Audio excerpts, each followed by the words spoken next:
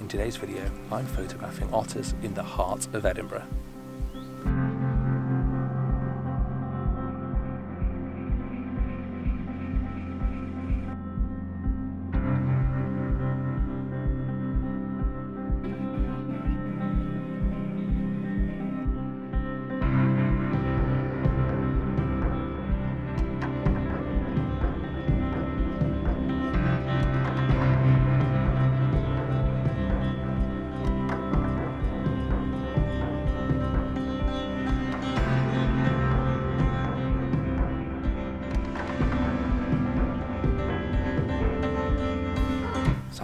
Dunsapie Loch, and the reason I'm here is that a friend of mine, the excellent guy, Cameron Robinson, sent me a text last night saying, Hey, did you know that there is an otter in Dunsapie Loch?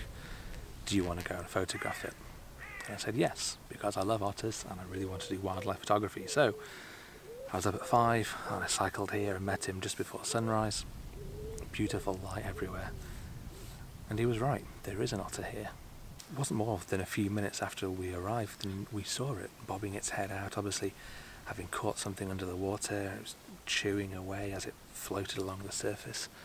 It's absolutely incredible to see, and it's amazing to think that this loch, which is just underneath the hill Arthur's Seat in Edinburgh, is basically in the city, and yet here we've got otters.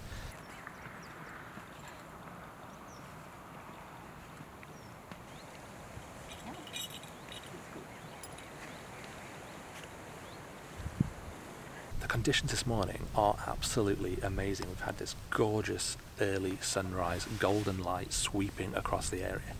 It does mean I've been having to sort of move around the loch to make sure that I'm not shooting into the sun, but instead that light is falling on the otter, so it's definitely been a, a case of move and shoot, move and shoot. I'm using my 70 to 200, which is fine, but it's not really long enough for wildlife. Ideally, I'd be on something 400 plus. I did borrow Cam's um, 1.4 extender, so I think that took this to about what 300-ish, 270 mil, something like that. Um, which did give me some extra uh, scope to work with, but still, like ideally, I'd be on a 400 plus, maybe even a 600 to get right up close on it.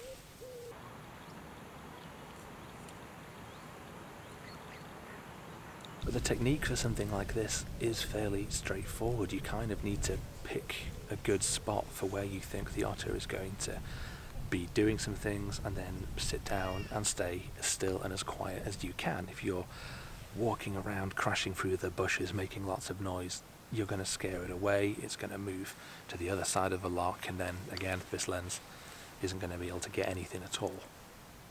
So instead trying to keep pretty much in one or two different spots. Um, only moving around when I can see that it's got underwater, just so that I don't scare it away. But then it's really just patience. Keeping your eye out, looking for those ripples on the water that might tell roughly where it's going and where it might pop up. Settings wise, I'm at roughly around f4, but that's changing. Um, I've bumped my ISO to about 500 because I need to keep quite a fast shutter speed. I don't want any kind of motion blur. Obviously, it does move quite quickly, particularly when it's diving up and down, so I don't want it to come out blurred. So my shutter speed at the moment is somewhere around 2000th of a second, which is more than enough to absolutely freeze it in motion. One of my absolute favourite things about doing any kind of wildlife photography like this it's just how peaceful it is. I usually don't get animals, certainly not things like otters, that are typically pretty nervous, rightly nervous. Don't usually get them this close to cities, so to be able to cycle half an hour from my house to get here and then just sit on the shore of this loch looking out is beautiful.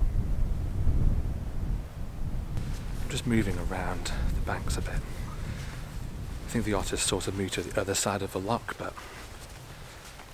I have seen him around this end most often, so just want to put myself in a good position for when he comes back, if he comes back. There's obviously no telling whether he's necessarily going to be here at all. And I could have got up at dawn, cycled all the way here with a backpack full of kit, only to find that he was a no-show. But so far I have seen him a few times, so I'm pretty confident about being able to get some shots, or at least just one shot, which at least proves that there is an otter here, and I'm not just making a video about nothing. Goes without saying, of course, that using burst mode on your camera is an absolute must. Fire off as many frames as you can, because when it does pop its head over the water, it's only for a very, very brief moment, maybe a second, maybe two. But in that time, if you can fire off 20 frames rather than one, then you've given yourself a much bigger chance of getting at least one photo, which is uh, going to be worth keeping. I'm definitely, I've just seen him coming out over the water just over there, maybe 40 feet away. So I'm just keeping my eye on that location.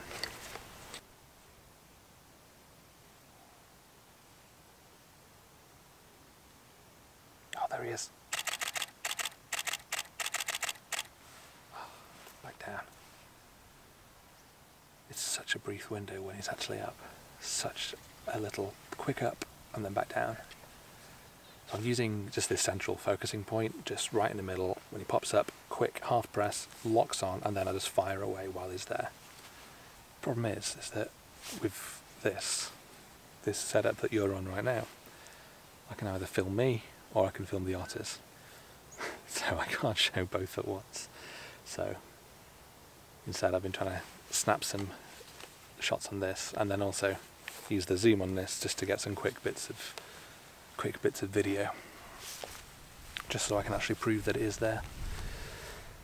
This is absolutely one of those occasions though that even if I didn't get any photos at all, which is quite likely to be honest, it's just an absolute pleasure sitting here peacefully looking out, listening to the birds and just watching the otter play in the water. It's only nine o'clock, I've been here two hours. I can't think of a better way of starting a day. Of course, it is really important to stay quiet, stay low, don't make yourself too much of a distraction because you will put it off. So, if you're going around wearing a bright, luminous coat that makes loads of noise every time you move, then odds are the otter is going to see you and it's going to go away. Which is the case for any wildlife that you might be trying to photograph, but particularly anything like otters, which are naturally more timid. You need to account for that. Try and stay low and stay quiet. And frankly, that's just the best way to be with any kind of wildlife. Like, this is their home. Don't go blustering through, making endless noise. Because not only might you not get the photo you want, but you might actually scare them off altogether. This otter, if it gets disturbed too much, too often, it'll just end up leaving and going somewhere else, and then it's ruined for everyone. That'll be a real shame. Right now, I am trying to very gingerly make my way around this bit of the shore. There is a little footpath that goes around here. That's the other thing. Always stick to footpaths when you're in places like this. Don't go crashing through bushes and ruining plants, particularly anywhere where there might be nesting birds, which that could be higher up. But this looks like it could be a good spot. I have just left my bike right over there. It's not locked, so I'm just hoping everyone that's walking past is honest.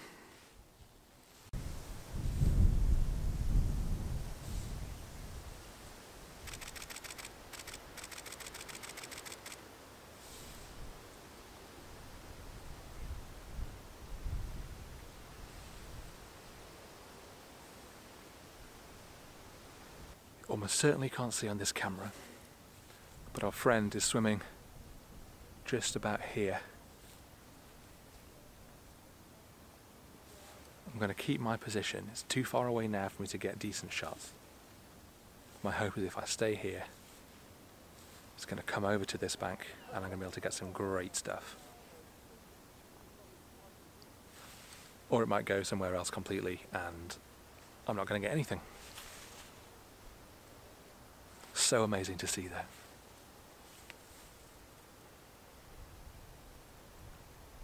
Still fishing over on the far bank. Might be waiting here a little while. But also, the sun is right behind me this way. So if I was over there shooting this way, I'd get the sun right behind it. Wouldn't make for a great shot. So I'm really hoping that if he comes over here, the sun's going to be illuminating him really nicely and I'm going to get a really, really good image from it. If I had a better lens, I could probably do a lot more from here. 200 mil might seem a lot, but for this sort of photography, it just isn't. He's just a speck in the distance, even at 200 mil. Today's video is sponsored by Sitting Uncomfortably. Do you sometimes find that your back and knees feel too healthy? Well, try sitting uncomfortably for long periods of time and see how much of a ruined person you can feel. Time to go find Cam. He's on his laptop. Here. Hello, Cam. Hey, buddy. You appear to be on your laptop. I am. I'm looking at some of the shots I've got so far today. Do you think you've got good stuff? I think so, but uh, yeah, I ran out of space. Oh no. ran out of space and battery. That means it's been a good means it's been a good morning. Yeah. I think. so you are shooting video. I am on the Black Magic Pocket Cinema 6K. 6K. 6K. That's That many Ks. so many Ks, Cam. Yep, I agree. And you've got a 150 to 600. See, that is the lens That's the one you want. that I should be using. Really, none of this 200 mil nonsense. It's, it's a beast. 600. And it, you think it's big, and then it gets bigger. The light is shifted. It's very, very contrasty because the sun is much more overhead now. Been here a few hours, and also the otter does seem to have disappeared and hasn't been out in quite some time. So, I think that's calling it a day. I'm hoping that I've got at least one or two shots from this whole session, which might be good enough to put on screen. I suppose if I haven't, and I probably won't be making this video at all, and if I have, then you'll have seen them right at the beginning, so this is a bit redundant.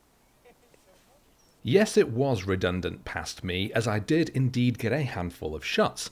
They're decent enough, but I was really lacking with only a 200mm lens. The closest I got was this shot here, which also required a lot of cropping in Lightroom. But my favourites are these ones, which not only show the otter itself, but show the environment that it's in, which really puts it in context of those beautiful surroundings. But that's it for today. I really hope you've enjoyed this video. If you have, please do hit that like button and consider subscribing if you don't already. And I will see you next time.